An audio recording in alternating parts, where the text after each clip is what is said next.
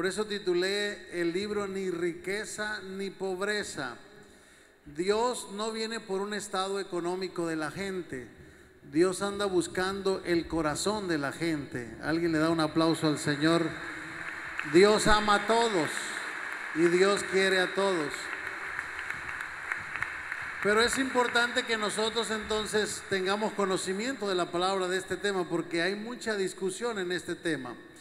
Así que hoy voy a iniciar la serie que se llama Economía según Dios, la serie. Pero el sermón que voy a predicar se llama Ni riqueza ni pobreza, aluciendo a este escrito. Y voy a ir a Proverbios 38, dice la palabra del Señor, vanidad y palabra mentirosa, aparta de mí. No me des pobreza, ni me des riqueza, mantelme del pan necesario. Cierra tus ojos, te damos gracias por la palabra. Gracias Señor por tu presencia en este lugar. Gracias porque tu Espíritu Santo nunca nos ha dejado. Gracias Señor porque a pesar de todo podemos seguir alabándote. En medio de esta pandemia sigues hablando a tu pueblo. Sigues llamando a tu iglesia, Señor, a servirte mejor.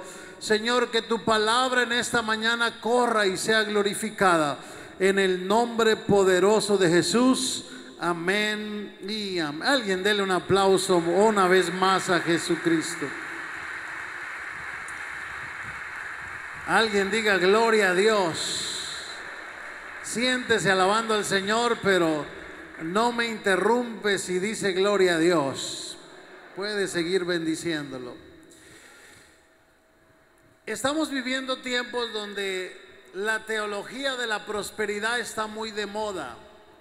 Uno abre las redes sociales para escuchar mensajes a veces de la Biblia y encontrará muchos mensajes sobre teología de la prosperidad. Por otro lado, encontrará mensajes criticando también a estos predicadores. Y creo que estamos en un tiempo donde parece que hay desbalances en la palabra del Señor.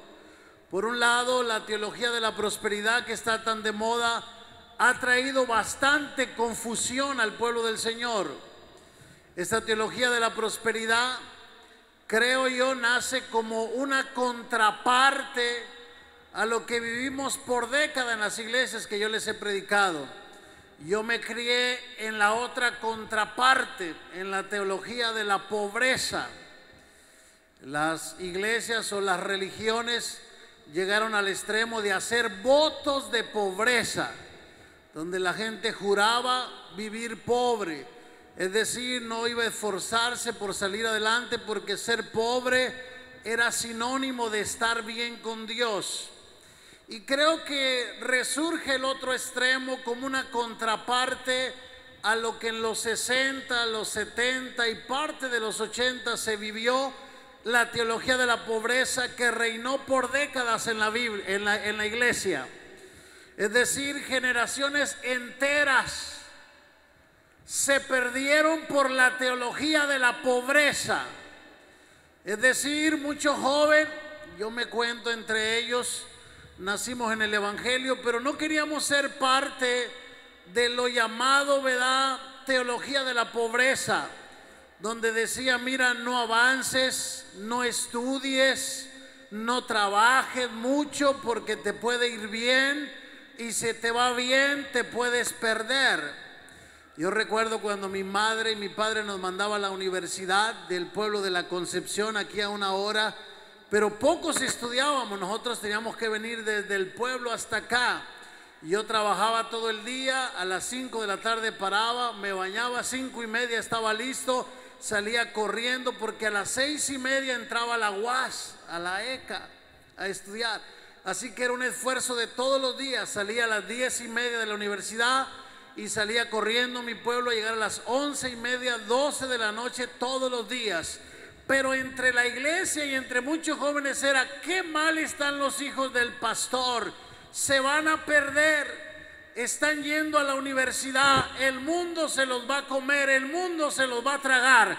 Pero mi padre y mi madre nos decía, ustedes van a ser luz donde se paren, donde ustedes se paren, Cristo va con ustedes. El mundo no se los va a ganar a ustedes, ustedes se van a ganar al mundo. ¿Alguien cree que podemos hacer eso todavía? ¿Alguien dice amén? Y miren que hoy me da gusto que alumnos que estuvieron conmigo en la preparatoria, en la universidad, hoy son miembros de esta congregación. Mire, la hermana Maribel, que es director de radio, póngase de pie acá, estuvo conmigo en la prepa UAS. Difícil en aquel tiempo predicar de Cristo con ella, pero ahora es una cristiana. Alguien le da un aplauso al Señor. Mi maestra de la universidad, está por aquí la maestra Laurelena. Esta maestra me dio, póngase de pie, aquí está la maestra que me dio clases en la universidad. Ahora es una cristiana y le predicamos la palabra en la universidad. Pero esa mentalidad causó problemas porque retrasó el Evangelio. No dejamos que las generaciones avanzaran y algunas generaciones tratando de sobrevivir fueron a la Biblia y creo yo que eso provocó el surgimiento de la teología de la prosperidad que también se radicalizó a otro extremo, se fue hasta la otra parte.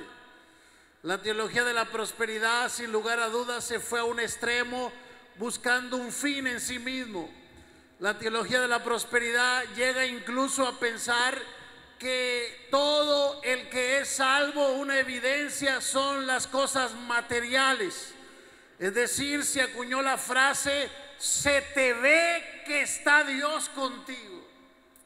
Se te ve que estás bendecido. Para referirse que quien tenía éxito material entonces iba bien en la vida cristiana, que no necesariamente es así. Esta forma de ver la vida cristiana, ¿verdad? Puntualizó que lo material era la evidencia que eras hijo de Dios que lo material era como la bendición, el favor de Dios. Y es parte de favor, Dios bendice también con eso. Pero la salvación no tiene que ver con riqueza ni con pobreza. La salvación es un regalo de Dios. Alguien le da gracias a Dios que nos ha regalado esta salvación. ¿Sabe con qué se compra la salvación? No se compra ni con todo el oro que hay en el mundo pero Dios nos la ha regalado. Entonces, estos conceptos, tanto la teología de la pobreza como la teología de la prosperidad que no cristianos no balanceados en la Dios nos la ha regalado. Es decir, el concepto de la prosperidad es si Dios está contigo, se te va a ver. Si Dios está contigo, financieramente vas a avanzar. Y mucho cristiano llegó a la iglesia por ese motivo. Pastor, estoy bien tronado. Me dicen que si me hago hermano me voy a hacer rico. y yo le dije, sí, Chuy, bendito sea el Señor. Si no trabajas, si no te esfuerzas y no eres sabio, lo que Dios te dio no lo vas a multiplicar, porque esto no es cuestión de solo hablar o decretar, esto es cuestión de mayordomía. Se te dio un talento, se te dieron dos o se te dio cinco, pero si tienes sabiduría, lo puedes multiplicar en el nombre de alguien, dele gloria a Dios. Esto no es cuestión ni de pobreza ni de riqueza, es cuestión de mayordomía. ¿Qué estás haciendo con el talento que Dios te ha regalado? Entonces esta distorsión es lo que queremos en esta mañana balancear. A través de la historia Dios ha estado tanto con los que han hecho buen uso de su mayordomía, pero también Dios ha estado con quien ha perdido todo en la vida. Porque a veces la pobreza o la riqueza son estaciones. A veces tenemos, a veces batallamos en la vida. Job vivió las dos estaciones. En Job 1, verso 20 dijo, Job se levantó, rasgó sus vestidos, rasgó su cabeza, se postró en tierra, adoró y dijo, desnudo salí del vientre de mi madre, desnudo volveré allá. Lo que tengo Dios me lo dio, pero también Dios me lo quitó y sea el nombre del Señor bendecido cuando tengo y cuando no tengo también. Alguien le puede dar gloria a Dios en cualquier circunstancia. Estás arriba, dale gloria a Dios. Estás batallando, dale gloria a Dios. Dios da y Dios quita. Pero lo importante entonces no es ni la riqueza ni la pobreza. Lo importante es cómo está mi corazón con Dios. La teología de la pobreza pretende que el estar pobre es sinónimo de estar bien con Dios. Y también tienen Biblia. De los pobres es el reino de los cielos, dicen. Y Jesús estuvo con los pobres. Claro que sí. También hay Biblia para que muchos pobres sirvieron al Señor. Pero la, teología asume que solo estando así se logra llegar al cielo. Pero tanto pobres como prósperos, hay evidencia que fueron fiel a Dios.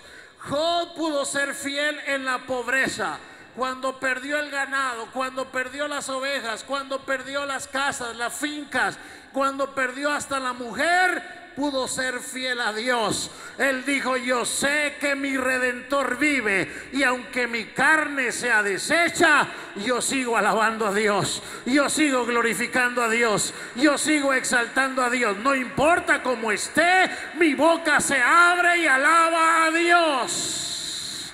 Alguien puede alabar a Dios esta mañana. Alguien puede bendecir esta mañana. Si estás pasando por luchas, dale gloria a Dios. Si estás pasando por pruebas, dale gloria a Dios. Y si estás bien, dale gloria a Dios. Así que en la pobreza también se puede servir a Dios. Quienes les han faltado los bienes materiales, no ha sido un impedimento para renegar de Dios. La Biblia, el Señor nos habla de Lázaro en Lucas 16, 20. Había un mendigo, dijo Jesús, llamado Lázaro. No tenía empleo, no tenía una casa, no tenía una propiedad. Estaba enfermo, incapacitado físicamente, pero su incapacidad física que solo le permitía extender la mano no le impidió ser fiel al Señor. Alguien le da gloria a Dios. Estés como estés, tú puedes servir a Cristo. La salvación no es cuestión de economía, la salvación es cuestión de obediencia a la palabra de Dios. Así que lo que encontramos es que Dios es el dueño de todo. Primera de Corintios capítulo 10 verso 26 dice, porque del Señor, del Señor Jesús es la tierra, del Señor es su plenitud. Usted es propiedad de quién? De Dios. La gente dice, mi vida le tengo malas noticias. Está prestada, no es suya. El Señor la puede tomar cuando quiera, como quiera y donde quiera. Y no necesita permiso de nadie el Señor. Porque Él es dueño hasta de tu propia... Alguien le da gracias que no presta la vida el Señor. Él es dueño de mi propia vida. Los seres humanos solo se nos han entregado las cosas. Es decir, yo soy mayordomo de la vida que Dios me ha dado. La vida no es mía, mis hijos no son míos. Dice la Biblia que son un préstamo también del Señor. La esposa y el esposo que tiene hermano tampoco es de usted. Aunque diga mi esposa, mi mujer, o como dicen a veces los muy mexicanos, mi vieja, dicen algunos, benditos. Pero está nueva, no le diga vieja, bendito sea el Señor. Como usted le diga, esa mujer se la prestó quién? Dios. Así que todos somos mayordomos. Todo le pertenece a quién? A Dios. Mire aquí desde que estamos en este edificio, tenemos unas palomitas que se estacionan por ahí. Yo ahorita llegué y me estaban bendiciendo ya con, con un chorrito por acá atrás. Bendito sea el Señor. Ellas creen que este edificio es de ellas, porque ellas llegan y aquí han vivido toda la vida. Y yo qué les puedo decir. Tratamos de quitarlas hasta que no se cierre, aquí van a estar. Pero a veces andan animalitos y él dice, aquí vivo, es mi tierra. Pero el Señor lo está viendo de arriba y le dice al pajarito, la tierra es mía. Usted llega a su casa y se mete y dice, llegué a mi casa. Y a veces está como el pajarito, usted en su casa, y dice, esta casa es mía. Y le echa plagas a la cucaracha y le echa plagas a, a los ratones. Pero el Señor lo mira a usted y dice, tampoco es tuya, esa también es mía. Alguien le da gloria a Dios. La vida que tiene es de Dios, la propiedad que tiene es de Dios, el aire que respira también es de quién? De Dios. Así que nosotros solo somos que ministradores mayordomos de algo que Dios pone en nuestras manos. Yo soy mayordomo, dice 1 de Corintios 4 del 1 al 2, ténganos los hombres por servidores y ténganos por administradores, no por dueños de las cosas de Dios. Somos servidores de Dios y somos administradores de quién? De Dios. Ahora bien, dice la palabra, se requiere que el administrador sea hallado fiel. Dios un día me va a pedir cuentas. Me va a pedir cuentas de mis hijos. Me va a pedir cuentas de mi propia vida. Me va a pedir cuenta de mi esposa. Me va a pedir cuenta de todo lo que puso en mi mano porque yo no soy dueño. Por eso ni la teología de la pobreza ni la teología de la prosperidad pueden sostenerse porque nadie es pobre o es rico, nadie, todos somos administradores. algunos se les dio más para administrar, tienen más responsabilidad delante del Señor. A otros se le dio menos, pero al que se le dio menos y al que se le dio más se le dijo, cuídalo y multiplícalo porque un día te voy a pedir cuentas. Alguien dele gloria a Dios. Y si Dios le ha dado poco y si Dios le ha dado mucho, sea fiel en lo poco o en lo mucho que Dios le ha dado. Porque la pobreza o la prosperidad no es un estado de salvación, sino la pobreza o la prosperidad es la buena o mala administración de lo que se me puso en la mano. Al que le había dado cinco talentos lo multiplicó y hizo cuánto, dice Mateo, diez. Al que se le había dado dos lo multiplicó, pero hubo un mal administrador que dijo, yo no trabajo para el Señor, yo no multiplico nada, yo lo entierro, así acostadito que el Señor me bendiga. Y el Señor le dijo, siervo malo, siervo flojo y siervo negligente si un sola habilidad te di, trabájala, muévele, hazle algo, porque cuando tú te mueves, el corazón de Dios dice, mi hijo es diligente, mi hijo es determinado, mi hijo hace algo. Y cuando usted, hermano, se mueve, la mano de Dios también se mueve. Cuando usted se esfuerza, la mano de Dios lo premia. Alguien diga amén. Esto le dijo el Señor a Josué, esfuérzate y sé valiente mira que te mando que te esfuerces y seas valiente, porque Jehová tu Dios estará contigo donde quiera que vayas. Mire cuando los hermanos que están aquí, ahora se llama la salsa taller del maestro, llegaron aquí, eran empleados, empezaron su negocito, ahí van. Yo espero que administren bien y multipliquen bien y que pronto ese talento se haga dos, se haga cuatro, se haga cinco, se haga diez, sabiendo que están en las manos del Señor. Alguien dele gloria a Dios. Lo poco, lo mucho, multiplíquelo.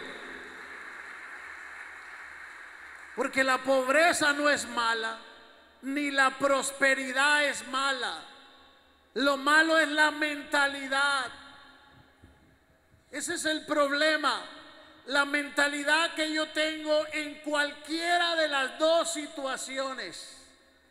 En Deuteronomio capítulo 10, verso 10 dijo el Señor, cuando te haga introducir en la tierra que le juré a tus padres, a tus padres Isaac y Jacob que te daría, cuando te metas ciudades grandes y buenas que no edificaste, casas que tengan todo bien que tú no llenaste, cisternas que tú no cavaste, viñas y olivares que no plantaste, cuando comas, cuando te sacies, no te olvides del Señor tu Dios que te sacó de la tierra de Egipto de casa de servidumbre. Cuando estés bendecido, sigue alabando al Señor.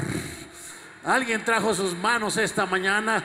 Dale un aplauso a la gloria de Dios. Si tienes para comer, dale gloria a Dios. Si Dios te ha bendecido a pesar de la pandemia, dale gloria a Dios. ¿Sabe cuál es el problema de tener el problema está cuando me olvido de quién es el que me dio el poder para tener. De quién es quien me proveyó la sabiduría. De quién me dio la fuerza. De quién me dio ese pan. Por eso el problema no está en la situación que está, sino en el corazón. ¿Cómo te comportas en cada situación? A veces yo me he encontrado con gente muy necesitada y empieza a maldecir a Dios. Dios no existe, Dios no me quiere, a mí me ha ido muy mal. Y yo digo, no es la situación en la que estás, es tu corazón el que está mal. Pero si tu corazón se humilla, Dios no tiene problemas para levantarte. Él le gusta levantar hasta del lodo cenagoso y ponerte los pies sobre la peña. Alguien dele gloria a Dios. Él levanta al caído, dice la Biblia. Él corona de favores y misericordia. Él rescata del hoyo. Alabado sea, alguien lo ha bendecido el Señor. Dele gloria a Dios esta mañana. Si tú has visto la mano de Dios en tu vida, dale gloria a Dios. O sea que el principio es que yo tengo que aprender a reconocer siempre a Dios. Dice el primer libro de Crónicas 29, 11 al 14. Porque tuya es, oh Jehová, la magnificencia y el poder, la gloria, la victoria y el honor Todas estas cosas que están en los cielos y en la tierra son suyas. Tuyo es el reino. Tú eres excelso sobre todas las cosas. Las riquezas y las glorias proceden de ti. Tú dominas sobre todo. En tu mano está la fuerza y en tu mano está el poder. Alguien lo cree aquí en esta mañana, que en Él está la fuerza, en Él está... Alguien dele gloria a Dios. En tu mano está el hacer grande y en tu mano está el dar poder a todos. Por eso ahora Dios te alabamos y lo amos tu glorioso nombre, porque quién soy yo y quién es mi pueblo para que pusiésemos ofrecer voluntariamente cosas semejantes, porque todo es tuyo. Diga conmigo esa frase, todo es tuyo y de lo recibido de tu mano, de eso es lo único que le traigo. Alguien dele gloria al Señor. No es bendito sea el Señor que doy de lo mío. No es que ayudo de lo mío, sino de lo que Dios me ha dado. Es lo único que puedo hacer. Y qué hermoso es reconocer a Dios. Hay un pasaje que dice, reconócelo en todos tus caminos, en lo que hagas, en la circunstancia que estés. Cuando Job, el texto que tomé como también más atrás, estaba en una situación difícil. Él se lamentó de la situación, pero no de Dios. Él oró al Señor, se humilló, rasgó su manto, rasgó su cabeza, se postró en tierra, pero a pesar de todo adoró. no así la mujer. No pudo soportar la pobreza, sino que empezó a decirle, ¿dónde está Dios? ¿Por qué no lo maldices? ¿Por qué no te mueres? todavía retienes tu integridad, todavía sigues de hermano, todavía sigues orando, todavía sigues cantando, todavía sigues glorificando. Y Job le dijo, mujer, como suele hablar una mujer fatua, has hablado. Porque cuando recibíamos de Dios y recibíamos de Dios, no renegabas. Pero ahora en esta circunstancia blasfemas de Dios. Dijo Job, aunque Dios me matare, en Él esperaré. Alguien dele gloria a Dios. Aunque Dios me quite la vida, en la otra vida le sigo alabando. En la otra vida le sigo glorificando. Alguien abra la boca y alabe a Dios.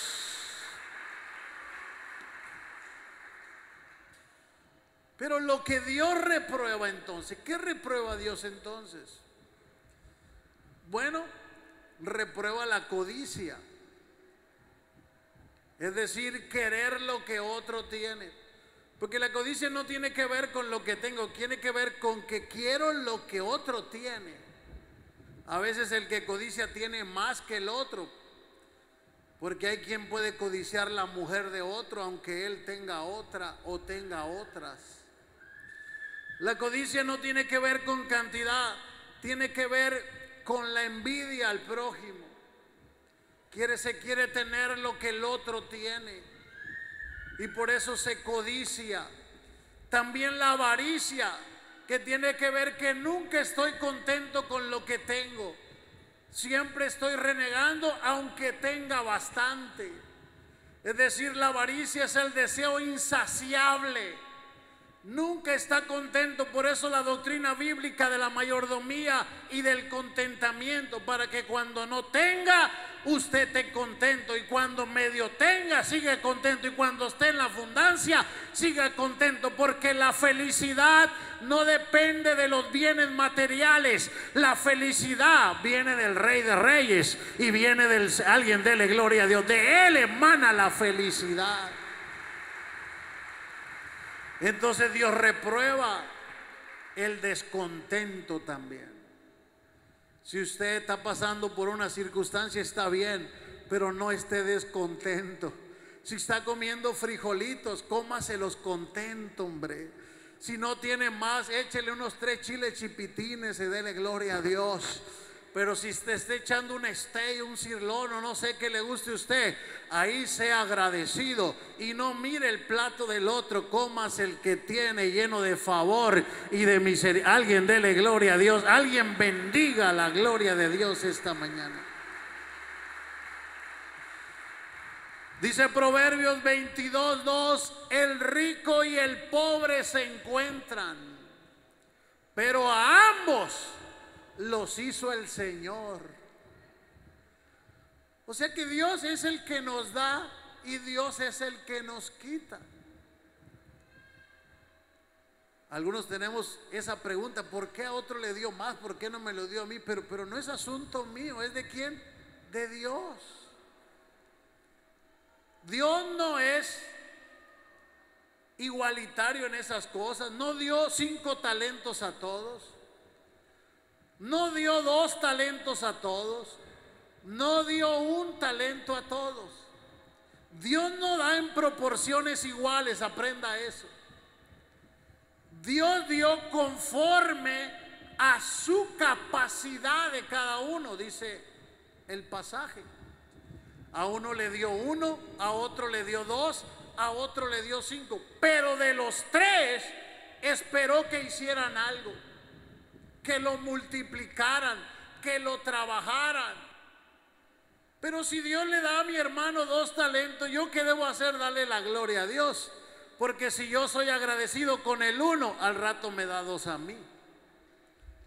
Y si soy agradecido con los cinco, al rato me da diez.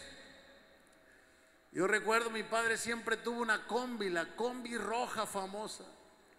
Ahí cabíamos los ocho hijos de papá una casa pastoral. Y a veces los ocho amigos, uno de cada uno, nos subíamos hasta 16 en la combi.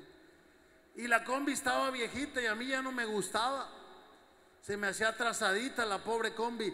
Y yo veía a mi papá levantarse, tenía una franela que diario la limpiaba. Yo dije, le va a sacar sangre, diario la limpiaba.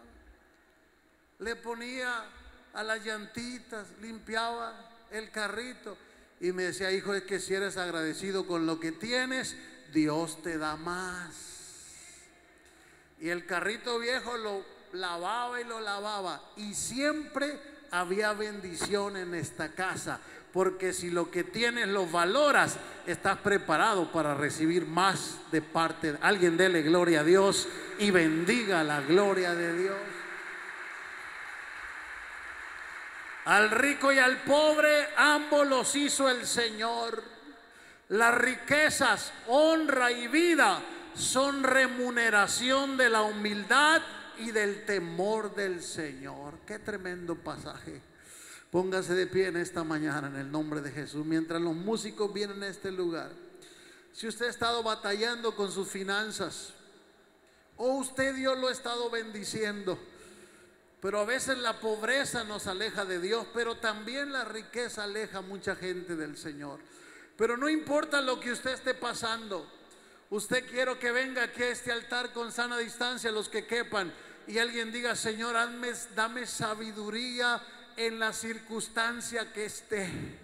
Enséñame a ser agradecido con un bocado de pan como con un manjar en la casa. Enséñame a agradecerte con el carrito viejo como con el carrito del año con la casita viejita como con la nueva que me acabas de dar, Señor. Levanta tu mano al cielo aquí en esta mañana. Si hay un agradecido con Dios, levante su mano y empiece a adorar al Señor. Job le dijo a su mujer que solo en la prosperidad vamos a adorar a Dios. Solo cuando tenemos todo le vamos a dar gloria. No. En cualquier circunstancia, dijo Pablo, he aprendido a contentarme. Sé tener y sé no tener. En todo he estado enseñado para que cuando tenga no me exalte demasiado, pero para que cuando no tenga no reniegue de mi Señor.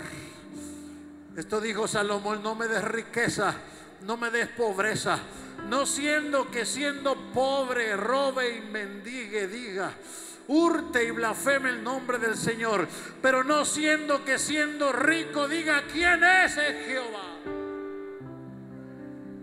Levanta tu mano al cielo, Señor, dame sabiduría.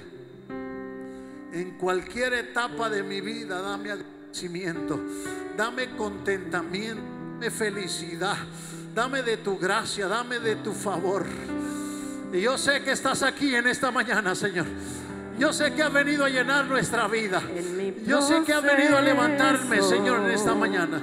Todo se fue. Levanta tu mano al cielo en el nombre de Jesús.